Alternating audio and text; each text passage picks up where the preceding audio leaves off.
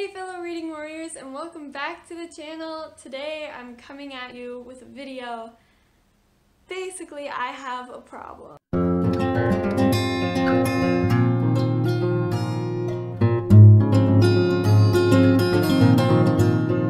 There I, I'm a horrible. This is a video I've been meaning to film for quite a while because I keep bringing it up in other videos and I was like, you know what, today I'm finally just gonna sit down and do it and so my problem is series that I've started and haven't finished, but I want to.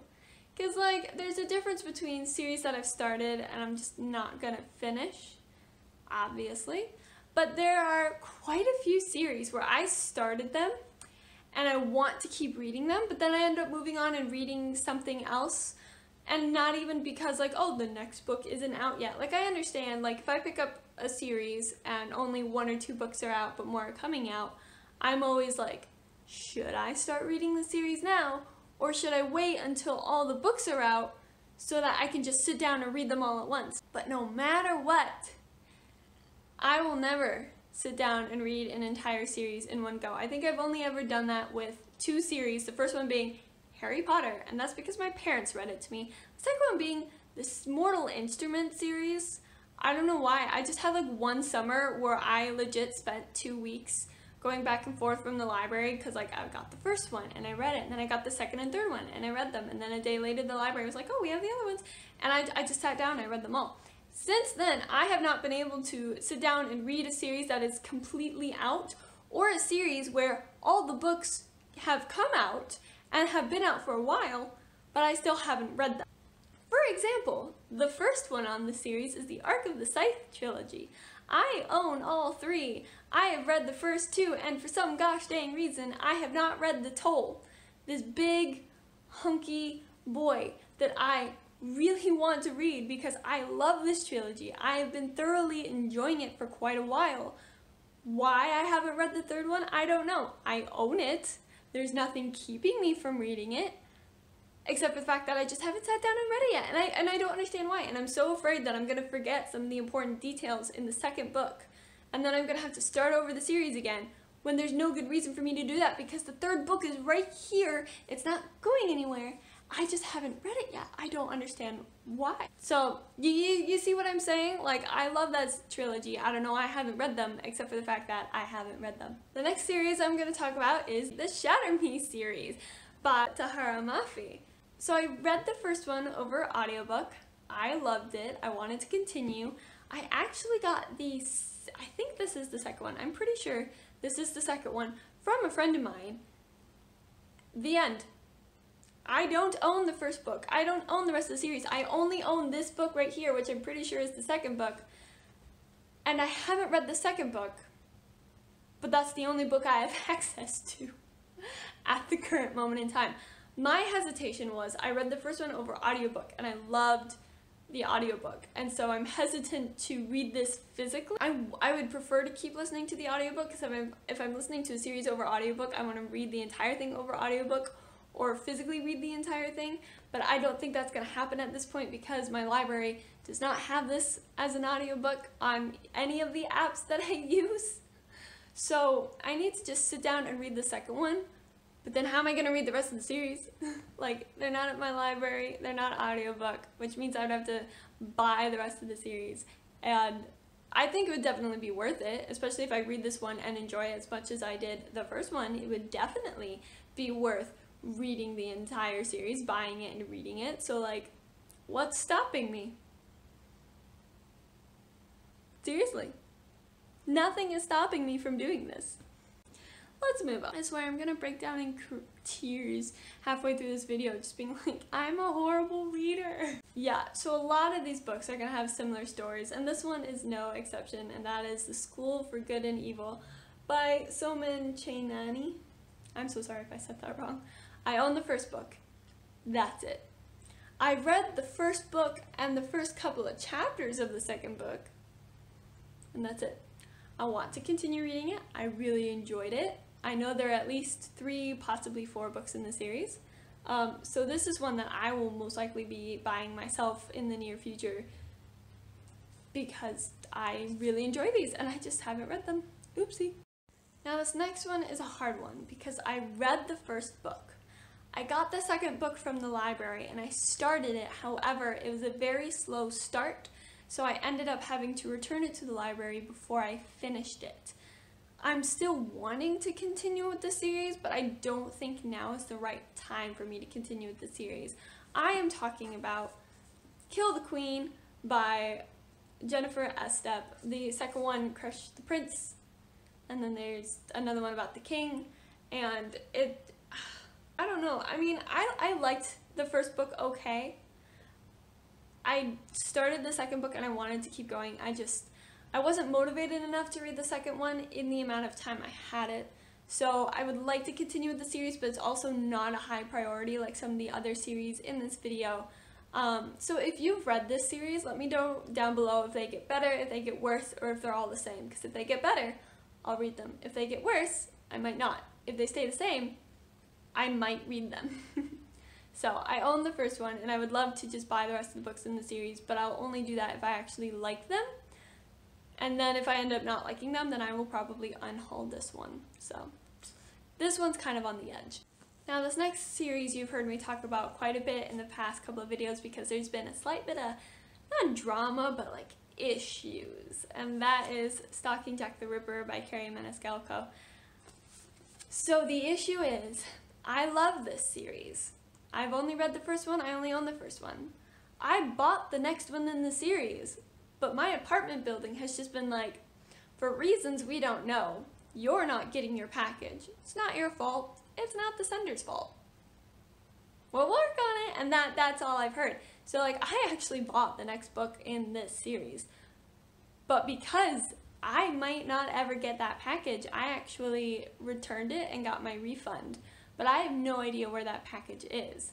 I am more inclined to buy the rest of these books when I'm in a different place, whether it be back at my parents' house or wherever we end up living next year. If packages get sent there just fine, I want I will buy the rest of these and I will read them.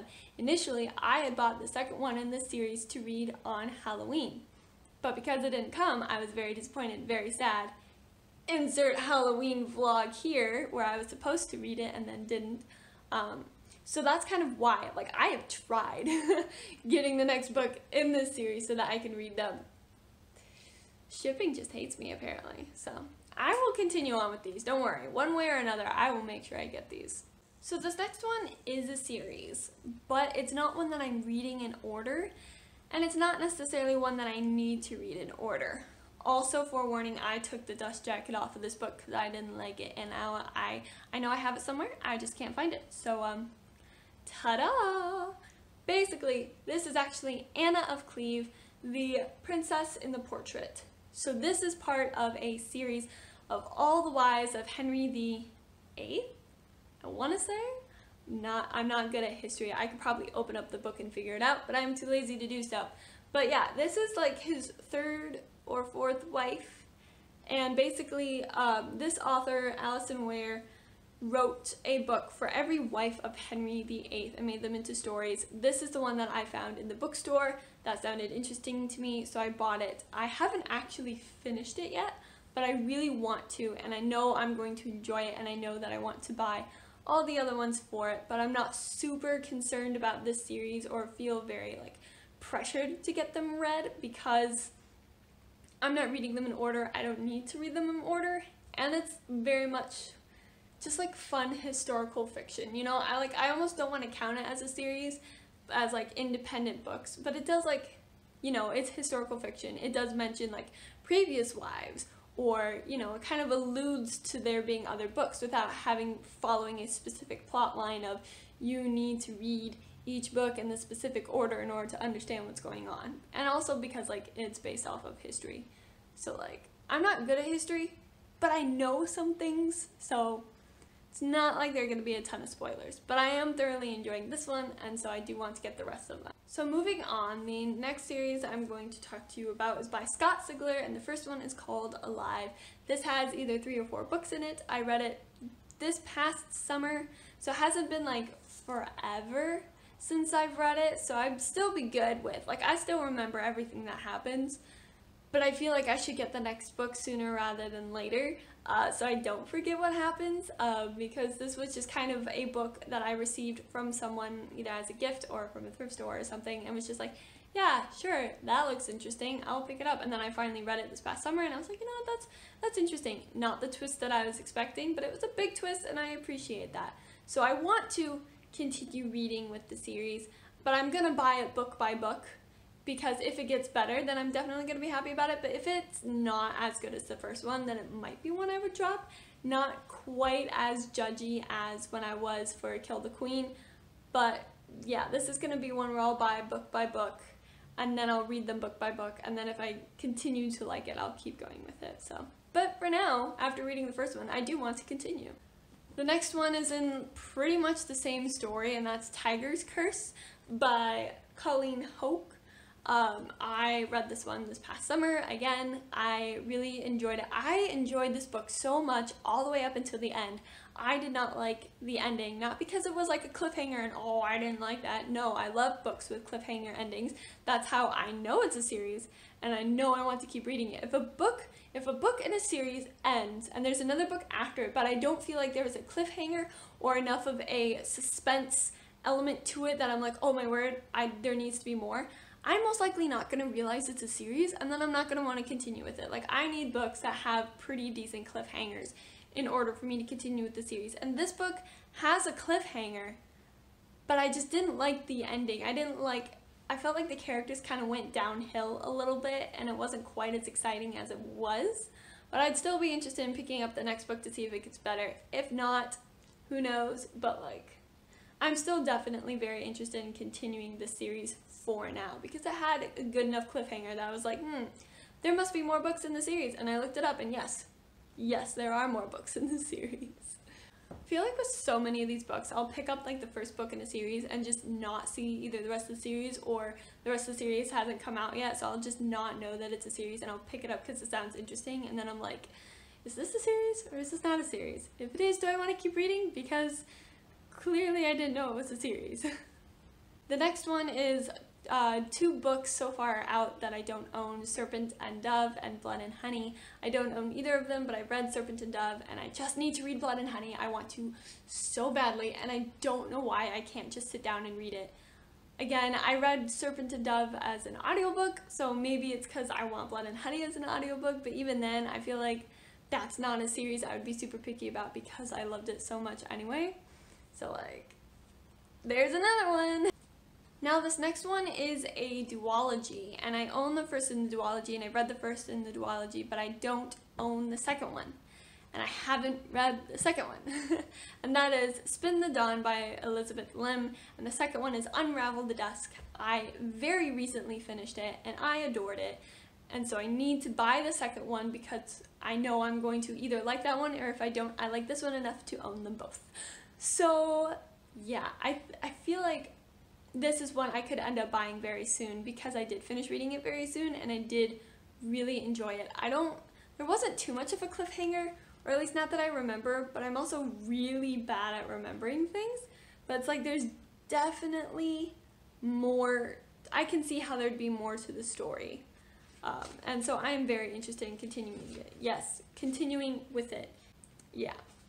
So it's only a duology, and so it's not like there's a ton of effort of tracking down the other books or reading a bunch of books. But yeah, so this is one that I could get pretty soon, honestly. And the next one on this list is the Tea Dragon Society. There are two more books that I know of, the Tea Dragon Festival and the Tea Dragon Tapestry, all by Katie O'Neill. These are very short books. I loved it so much that I immediately made my mother, my father, my husband, and my two best friends all read them within a span of I got this book. I read it. I love it. Here, you read it. Here you go. Um, so yeah, I am very interested. I think the I think the only struggle with me with this one is that it's such a small book that I have a hard time paying like 20 bucks for it. Like it's gorgeous art. I love the story. Everything is amazing. The creativity is beautiful.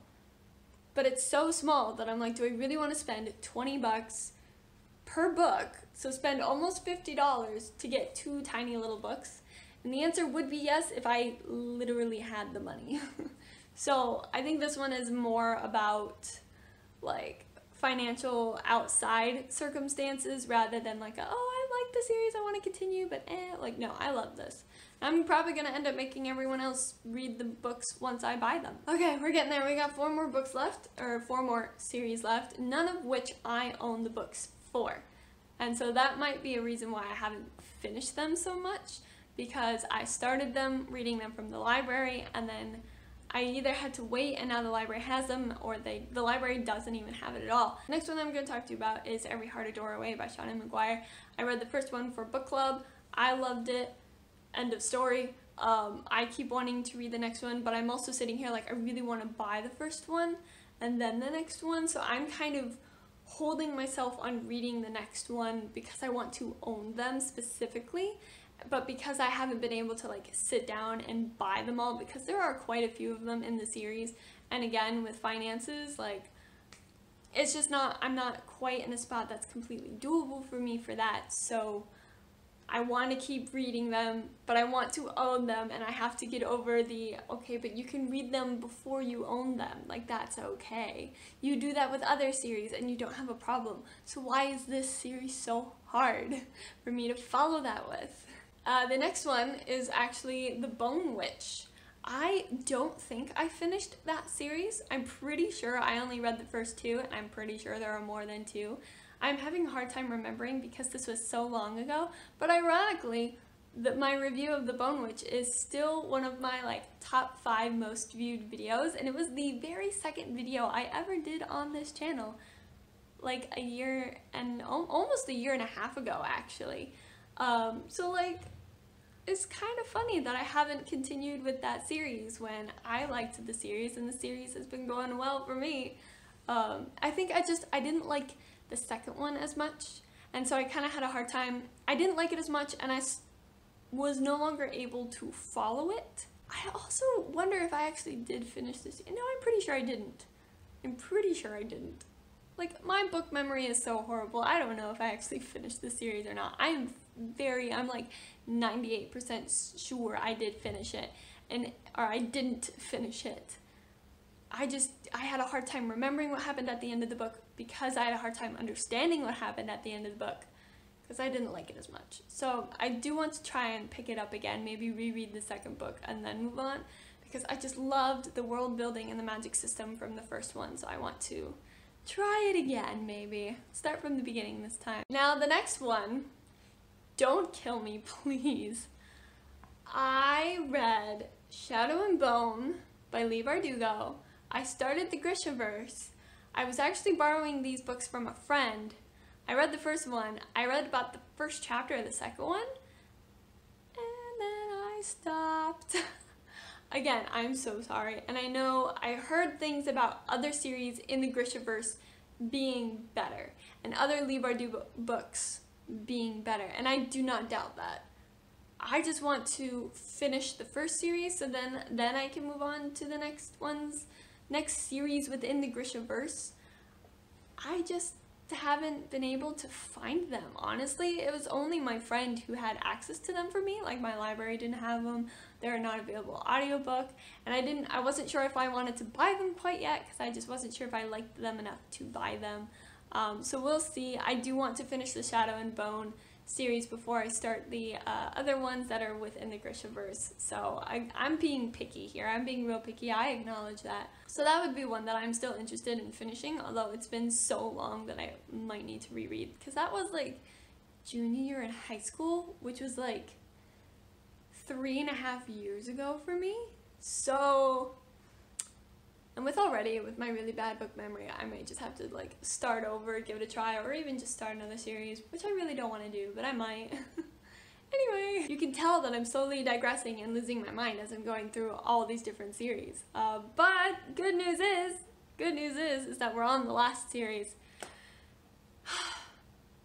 the Illuminae Files. Yep, I know, I know, I know. I read the first two, and then the third one came out and then the fourth one came out. And I just didn't, I didn't get a chance to read them, slash I didn't read them because those things are huge. I, those are ones that I have a little bit of a harder time, I had a hard time following them at first, but then I had, I really do enjoy them and they're very cool. They're mixed media, which is not something I'm used to reading, but I was really getting the handle of, especially in the second book. I was like, oh yeah, I know what's going on. This is interesting.